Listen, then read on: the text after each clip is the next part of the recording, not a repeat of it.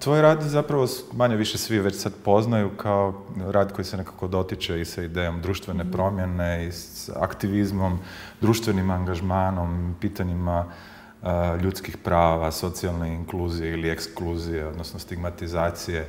No ono što se zapravo sad s nekim odmakom vremena pomalo i zaboravlja, da se ti jedna od pionirki internet arta u Hrvatskoj. Mhm. Odnosno, možda preciznije rečeno, pionirki nekog koja je u kontekstu umjetnosti koristio web. I tu su ti neki početni projekti od ovih nekih malih za koje više nismo ni čuli, mm. do nekih koji su zapravo početci tih kompleksnih velikih projekata koji su se odvijali i na webu, ali i u fizičkom prostoru kao što su embrio, zatvorena zbilja ili distributivna pravda ili mhm. jedan koji su isto ljudi već pomalo zaboravili, cyborg shop. Mm-hmm, tako nekako se bilo. dućan ga kao prevodimo, da. Mislim da je to ono stvarno da. obilježeno vremenom. U tom trenutku kada si ti iskoračila zapravo sa tim radovima, mm internet je nekako baš tada postao i mainstream. Što ti je taj medij u tom trenutku znači i koliko, je, koliko su ti početni projekti odredili metode i dinamiku eh, onoga što ćeš raditi kasnije? Pa internet je došao nekako sam po nekoj svojoj logici, zato što smo mi u to vrijeme 96. recimo kad sam ja to počela, 97. Ovo je bila jedna dosta zatvorena sredina ovdje i svaka, svaka mogućnost eh, nekog putovanja, da tako kažem, se prebacio taj virtualni svijet, ali i zarade. Tako da sam s jedne strane radila kao web dizajner, a s druge strane kao web umjetnik, da tako kažem, i cijeli mi se život sveo na mali stan, na malu garsonjeru i na taj kompjuter. On je taj virtualni prostor mi zapravo bio atelje. Nije mm. moglo drugačije u tom trenutku. Ja sam završila kiparstvo i bilo bi divno imati jeli, kiparske atelje, ali to je bilo nemoguće u to vrijeme. Još kako sam ja došla, nisam tu ni studirala, došla sam u Zagreb 1995. Onda je to bila zapravo nekako jedina mogućnost. Tako da nikad ne znam da li sam ja odabrala to ili ta nemogućnost e, zapravo me uputila na taj izbor. I nakon te prve, eh, prvog odlaska u New York i u Minneapolis preko Šoroševog ovaj, rezidencije sam i kupila, oni su mi zapravo omogućili da kupim prvi kompjuter i naučila sam te prve web dizajn korake. I cijeli rad se zapravo embrio eh, nastao na taj način što smo mi preko interneta dizajnerice s Novog Zelanda, mm. E, programer je sad u Norveškoj, dobro, tad je bio ovdje. Tako da smo mi preko interneta zapravo i gradili rad. I, logika interneta nije bila prezentacija, nego zapravo proces izgradnje rada i e, kako doći do publike. E, mm. znači to je, mislim kako sam ja tek došla, nisam imala nigdje izlagati, mislim nisam ja imala nikakve mogućnosti ni budžeta. tako da taj zapravo internet, kako bi rekla, iskoristili smo sve, sve mogućnosti interneta iz nemogućnosti fizičkog i izlaganja i budžetiranja i atelja i svega drugoga. I to se zapravo ispostavilo, ja sam bila iznenađena, e, jer nisam očekivala da, je internet već tada, kad smo mi embrio stavili na noge 99. 98. 99. da je on već tada e, imao toliko razigranu i e, zainteresirane i otvorene ljude da sudjeluju. I stvarno su nam, mislim, kad se stavi rad na internet, to još ništa ne znači. Mislim, to je stvarno bespuće. I tada bila, a sada još veće. Kako ljude dovesti na svoj sajt, kako ih povezati. Oni su, znači, embryo je rad gdje se, gdje dvoje ljudi koji se ne znaju, skupa rade, da tako kažem, bebu, zapravo embrio, e, birajući različite te mogućnosti za svoju buduću bebu i kako sad te ljude povezati, kako da baš u istom trenutku dvoje ljudi dođe da se poveže. Nije bilo to da sad se poznanici povezuju, jer onda oni mogu i razgovarati u kafiću, nego je baš bilo stvar u tome da se povezuju ljudi koji se ne znaju i super je to proradilo. Mislim, jesmo mi radili neku vrstu marketinga, ali sve je to išlo bez novaca, sve je to išlo preko maila, preko mailing liste, preko poznanstava, preko... Tak. Da, da, da, ali dobro, u ovom kratkom obliku sad recimo Embryo zvuči kao dating site, što on uopće nije. On je, mislim, jedan ono stvarno ozbiljan, pomalo i ironičan socijalni eksperiment u nekom smislu. Dakle, on, on se bavi zapravo genetskim inženjeringom i tim pitanjem šta bi bilo kad bi bilo.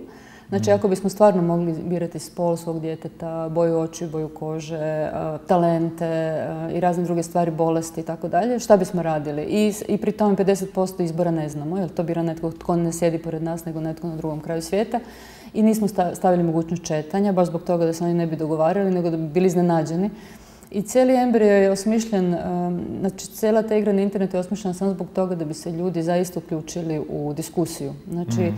jer kad ti nekog pitaš šta misliš kad bi bilo moguće, onda se ljudi zapravo ne zainteresiraju. Ali kroz embrio, kako su oni radili te svoje bebe, su sve više i više su uvlačili u to pitanje šta bi bilo kad bi bilo i do kraja igre da je tako nazovem, su već bili nekako tjeskobni i htjeli razgovarati. Onda bismo im doveli teologa, filozofa, biologa, nekog iz zelene akcije, da se raspravljamo za i protiv genskog inženjeringa.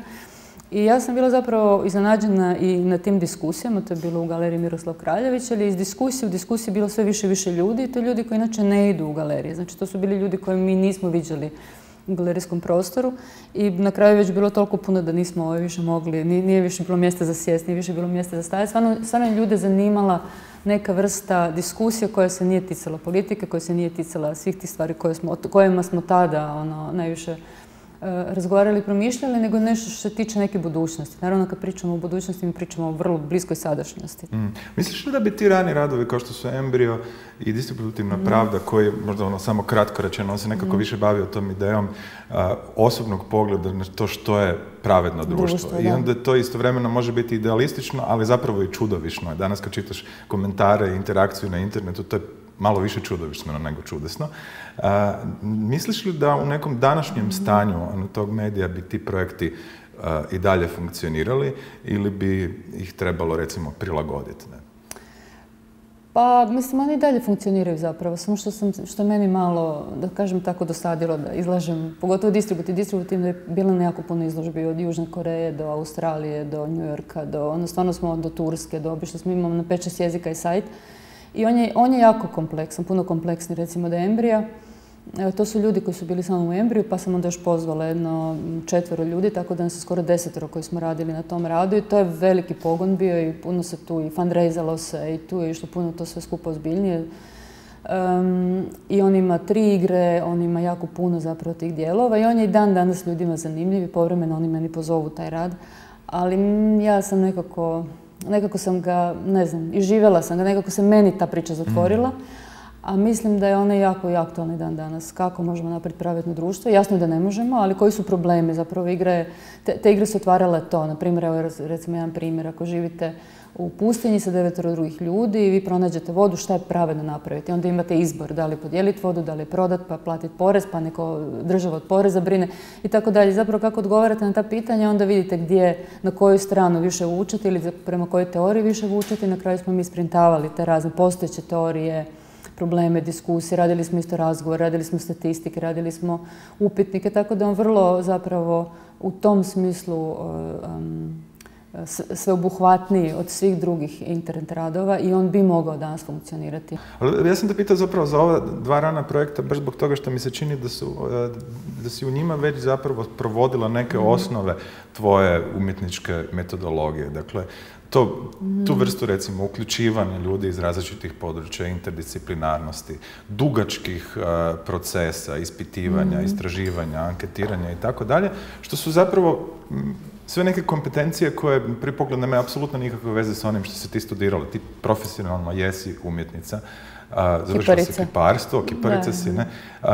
ali vrlo zanimljivo ono što radiš nekako i danas u mhm. smislu metodologije je već tada vrlo, vrlo rano bilo postavljeno. Od, od kud to i koliko si možda tu metodologiju možda promijenila ili razvila kroz, kroz godine? Pa ja sam sedam godina studirala kiparstvo. U to vrijeme kad sam ja studirala, to je bilo nekako normalno, dugo se studirala. E, imali smo majstorske radione, to danas više ne postoji. I to je bila nekakva, nakon što završi studij, ja sam u majstorsku išla u Budimpešt na likovnoj akademiji, onda sam imao mogućnost eksperimentirati razne stvari. Tu sam počela eksperimentirati s raznim stvarima i unutar tih dvije godine dok sam bila tamo sam otišla u Jordan i radila tu svoju prvu izložbu Azrak u Amanu i tu mi se desio taj trenutak kada sam e, shvatila da mi nije dovoljno da sam ja sama sa materijalom unutar prostora, nego da zapravo želim to podijeliti, kreiranje e, cijelog tog prostora s drugim ljudima, nekako uvući druge ljude već u proces kreiranja i naravno u proces čitanja cijele te stvari. Tako da sam već od te prve izložbe 94. to mi je nekako neki početak, prva samostalna izložba u Jordanu, i tema je bila Azrak, to je jedna pustinja, eh, jedna oaza koja je postala pustinja, su ljudi ispumpavali vodu prema Amanu. Da, na neki način se oni uništili ono, tu. I već, znači, već je bio jedan društveni problem. Je kao ekološka, zapravo sam se ja bavila ljudima, zašto su ispumpavali, kako su ispumpavali, šta se tu događalo, koji su tu odnosi ljudi koji su ostali živjeti u Azraku i tako.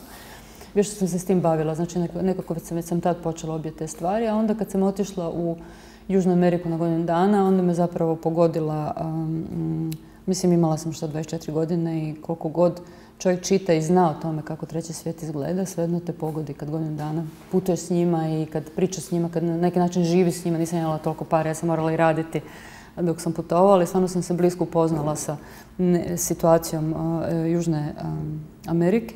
I tu mi je negdje krenula ta tema pravde, nepravde, tih društvenih prostora, nemogućnosti, ljudi koji su isključeni, ljudi koji nemaju izbor u životu, ljudi koji su u potpunosti na neki način stavljeni u neku situaciju, kako bi rekla, potčinjenoga. Mm. Kad sam prije dvije godine bila ponovo imala sreće otići u Meksiko, raditi izložbu u njihovom muzeju suvremena u Meksiko Cityu, sam se bavila točno tim zajednicama. I onda sam išla, radila sa četiri zajednice, dvije jako, jako siromašne na rubu Meksiko Citya, toliko siromašne da ovi iz muzeja su se bojali da će nam se nešto dogoditi ili da ćemo ono, na bilo koji način biti stradati, ali zapravo um, moja taktika je bila ta, kako sam ono, iz tog putovanja od prije znala da ih prvo pozovemo u grad, da radimo radionice i da onda oni nas ugoste kod sebe i to je naravno bilo fantastično, svi su nas čekali, bilo je stvarno ono, jako lijepo i toplo. Oni su, oni su jako povezane zajednice i kad pridobiješ jednog si na neki način pridobio cijelu tu zajednicu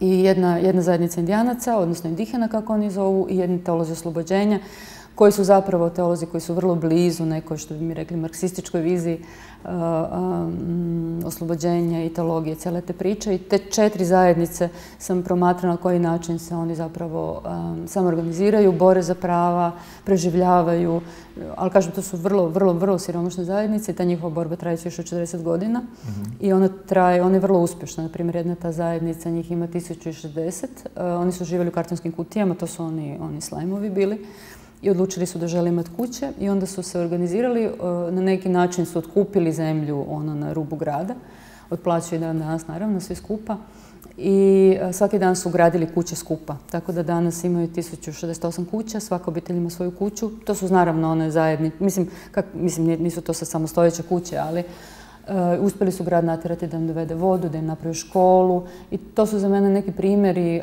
kako se može kada, kada nekako sve popusti, kada hmm. nekako ono potpuno povijesno i geografski na svaki drugi način ispadneš iz matrice. To je dio ovog projekta čiji je rezultat na neki hmm. način bila i ova knjižica kreativne strategije početnice. Da, da, da. da, da. I, I, to je samo jedan od, jedna od njegovih instanci. Pa možda ne bi bilo loše Pošto smo krenuli sa ono samim počecima da mhm. dođemo možda prema ovom recentnom, da nam objasniš.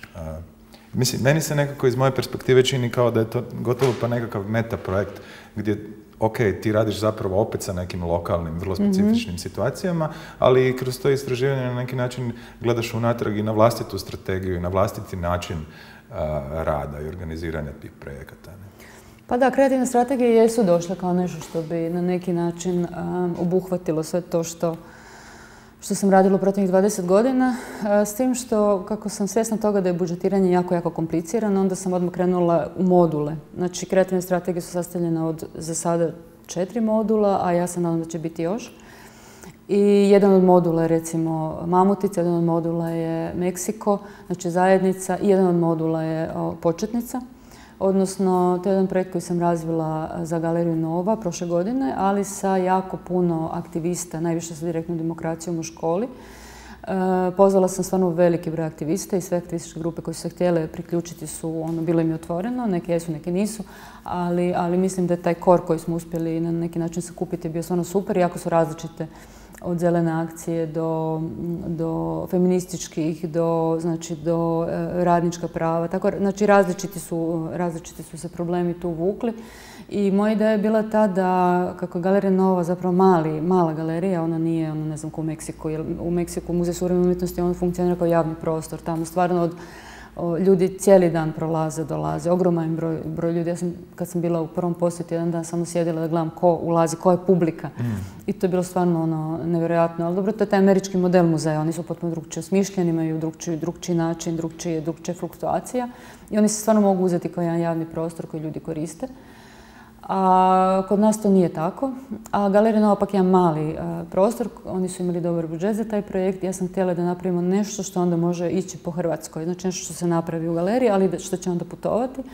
I tako smo osmislili tu vrstu početnice, odnosno to je kao neka vrsta toolboxa, mi to zovemo.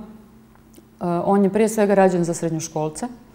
Znači da srednjoškolci nauče neke stvari koje nisu u kurikulumu školskom ili možda jesu, ali nije neka, neka vrsta ono, podvučena ta priča, a, a mi mislimo da je jako važno, pa smo napravili jedan pojmovnik, jedan abecedari koji potpuno od, ne znam, od, od radničkih prava do do feminizma, do društveno angažirane umjetnosti, do direktne demokracije, znači razne stvari za koje mislimo da bi srednjoškolci trebali znati o tim pojmovima, da bi uopće mogli početi ući u neku diskusiju i početi na neki način o tome uopće razmišljati ili se odlučivati za šta su zajednička dobra, mm. šta su javna dobra. Znači sve te neke stvari koje su danas aktualne u društvu, o kojima se priča, a koji se na neki način ne objašnjavaju dovoljno precizno i taj, ta početnica zapravo sadrži u sebi e, razne tako šarene materijale, šarene stvari koje može srednjoškolcima biti zanimljive. Znači, sav taj materijal smo preradili u tu početnicu, to, na nju se može sjesti, ona ima te svoje, e, ne znam, table, pa, pa e, razne neke stvari koje su klincima zanimljive. I putovali smo okolo, to je bilo dosta zapravo komplicirano, trebalo nositi te četiri.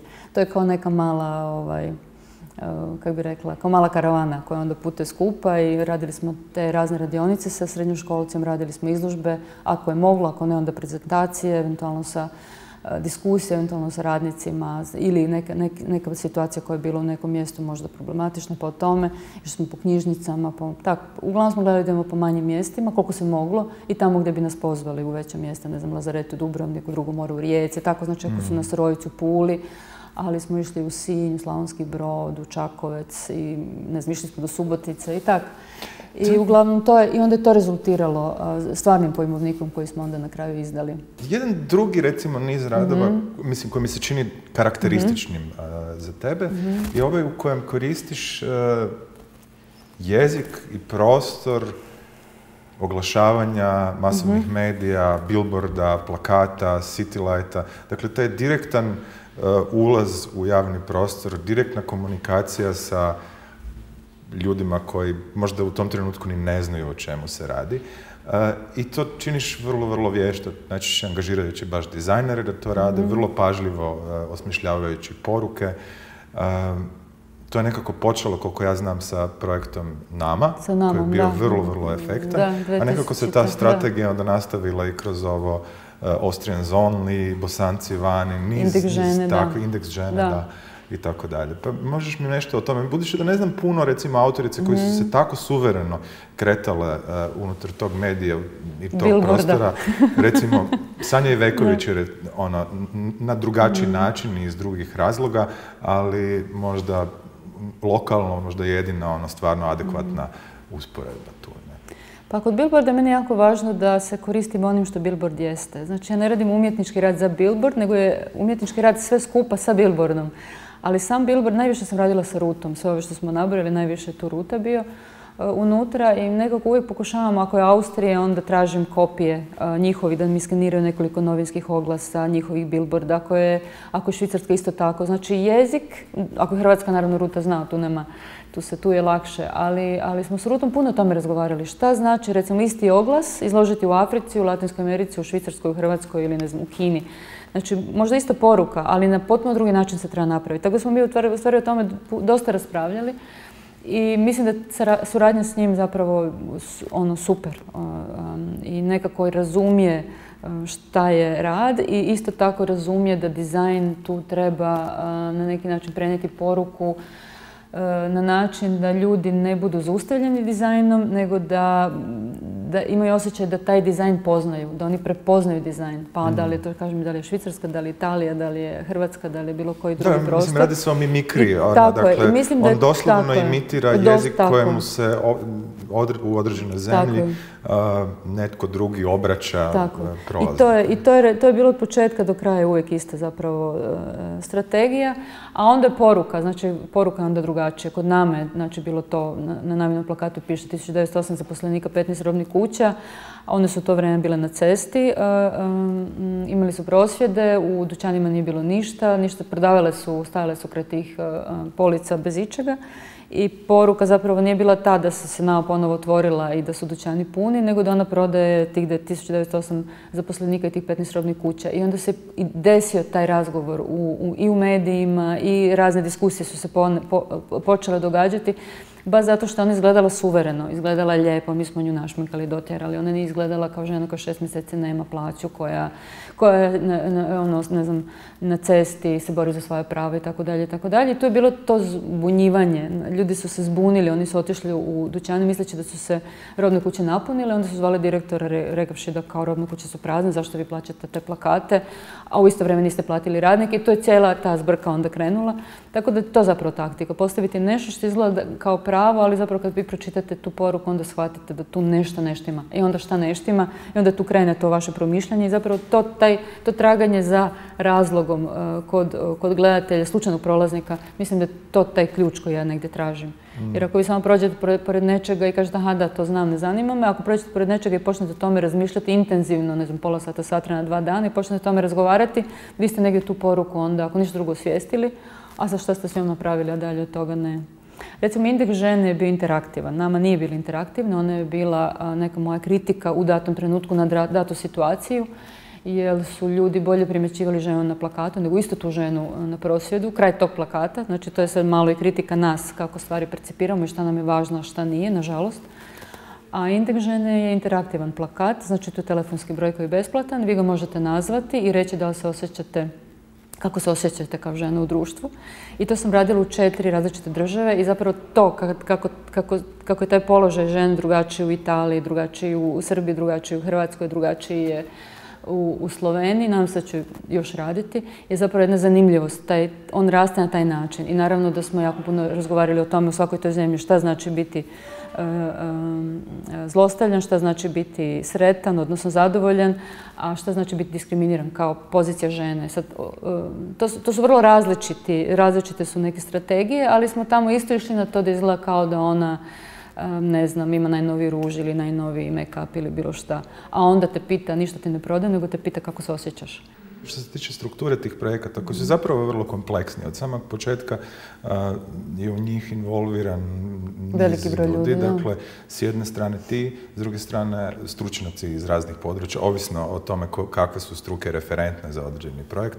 S treće, dizajneri sustavno surađuju sa dizajnerima. Dizajneri, arhitekti, programeri. Da, da, arhitekti, programeri i tako dalje. Zatim, ono, aktivističke skupine mhm. i onda konačno i korisnici programa koji mhm. mogu biti razni, od ono obične publike pa do raznih ugroženih recimo skupina sa kojima projekt radi, s čim, s čim mm. problemima se e, projekt bavi. I sad me zanima kako ti u, u sklopu toga vidiš mm. poziciju umjetnika, e, obzirom da je stvar jako, jako složena i od mm. tebe nekako iziskuje čitav spektar kompetencija koje se vrlo malo njih zapravo može može povezati usko sa, sa pojmom umjetnosti. Od nekog, recimo, čisto producentskog rada do same činjenice, što se meni strahovito čini komplicirano, obično, obzirom da nekako moj doživljaj društva oko nas je to da sve manje ljudi želi biti involvirano u bilo što. Sama ta činjenica da uspiješ dobiti ljude da participiraju da aktivno participiraju. Istina, bilo je puno lakše prije 20 godina. Nije trebalo ljude dva put zvati. Pa uloga umjetnika, to je možda kao redatelj, recimo kad bi to mm. uspoređivala sa filmom, to bi možda bila naj... s tim što da ja živim recimo vani, znači to se vani radi, isto tako te socijalno angažirane sa puno ljudi i tako, bi imala svog producenta na neki način koji bi onda obavljao produkciju i naravno asistente koji bi obavljali sve te ovaj, sastanke, dogovore, karte, putovanje i tako dalje. Ja radim projekat po projekat, znači pokušavam budžetirati projekt i onda uzeti ljude koji će onda određivati taj dio jer je nemoguće sve pokriti jer su to uvijek neki deadline i nekakvi rokovi i ne mogu se razvući projekti do besvijesti. Mhm. Mislim, nekad možda, nekad ne može. Evo recimo u Vrapču to sam mogla, ali to je bio manji broj ljudi i to je bilo nekako... Vrapčanski jastaci. Vrapčanski, to su tri projekte koje sam ja radila u Vrapču, ali to, su, to ipak nekako bilo... Uh, to se sve događalo u Vrapču, koristili smo njihov prostor, ljudi su bili tamo i to nije bilo, ali ovo kad se recimo početnica, to je stvarno jako puno ljudi, sa jako puno strana i to je trebalo puno, kako da kažem, puno kompleksne organizacije, tako da ide od projekta do projekta. Distributivna pravda je putovala, pa je onda, ali putovala je po pozivima. Znači, ne može se otići u Koreju svojim novcima ili ne može se otići u Tursku ili u Australiju, Ameriku. Znači, to su nazvali pa smo onda... Tako da su svaki put je nekako drugačija vrsta organizacije, ali moja uloga je ta da projekt osmislim, da vidim ko bi e, mogao koji dio odraditi, da ljude pozovem, da nekako na neki način oni, oni uspostave nekakav dobar odnos među sobom, da im otvori mogućnost da oni isto daju svoj kreativni dio. Mislim da je to jako važno, da oni nisu samo pod mojom palicom, mm. nego da koliko god mogu otvorim da oni sudjeluju u kreativnom dijelu i da ja budem otvorena prema tome da mijenjam onda sad neku svoju odluku nekako volim horizontalno raditi, tako da ako nas je, ne znam, desetor, onda ja imam jedan glas. Pa onda često se desi da nešto što sam ja jako zacrtala i mislila da bi bilo super za projekt ne bude, zato što su drugi drugčije glasali, što mi je ok, moram prihvatiti tu situaciju, inače sam nekako preautoritativna unutar projekta, onda je stvarno sve po nekoj mojoj palici, što mislim da onda gubi neku fleksibilnost i gubi nekakav most prema nekim drugim ljudima koje ja možda ne razumijem. Možda mm. neki ljudi razumiju neke stvari na način koji ja ne mogu razumjeti, pa onda pustim.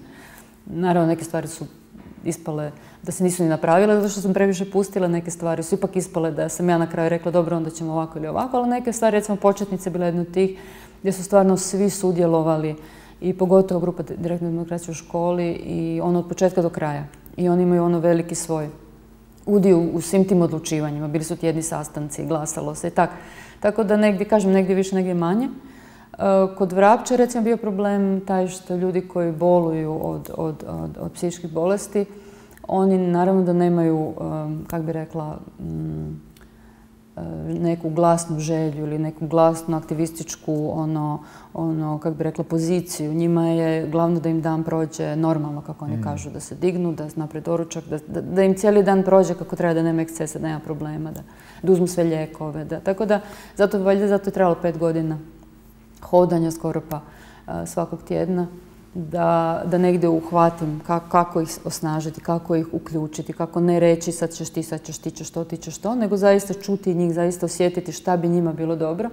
I tri su tu rada nastala, dve video instalacije koje su za galerijski prostor, jedna je o šizofreniji, druga je o depresiji i treća koja je, koji su vrapčanski jastuci gdje smo onda, opet sam pozvala tim, tu su Puna Zlatica, sa mnom dizajnerice i tu je Vlatka Prstić koja radi radionice u Vrapču, to je ono, ona je tu zaposlena na tim kreativnim radionicama i Dubravka Stječeš koja je svih pet godina zapravo bila sa mnom od samog početka u tim projektima, e, da radimo te radionice sa ljudima koji su njihovi pacijenti i da kroz radionice dođemo do toga šta bi oni voljeli da iz Vrapča ide prema ljudima vani i da prenosi na, neki način tu destigmatizaciju.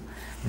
Pa smo onda kroz te radionice došli, ajde to će biti jastup, pa će biti vrapčići, pa će biti taj slogan. Tako da to dugo trajalo i naravno onda samo šivanje tih jastuka, 40 jastuka trajalo godinu dana, pošto su ljudi pod ljekovima, to sve ide usporeno. Znači, ali meni je jako bilo važno da se to sačeka. Znači, neki, neki projekti naprosto moraju imati to dugo trajanje i ne može ih se ono, zatvoriti na brzinu, a neki naprosto mora i može. Ne znam, ako sad u Meksiko, mislim ja tamo ne mogu sjediti dvije godine čekajući situaciju, nego naprosto moram odraditi stvar jer to sve skupa košta i moram se u nekom trenutku vratiti. Tako da od do nema, nema formule, nego nekako svaki put pokušavam promijeniti mhm. strategiju i slušati ono, sudionike, da vidim šta ne štima, šta štima. Ako su neki odnosi nekako nategnuti, da to pokušam popraviti. Ako mogu, nekad ne mogu, nekad se desi da neke stvari odu.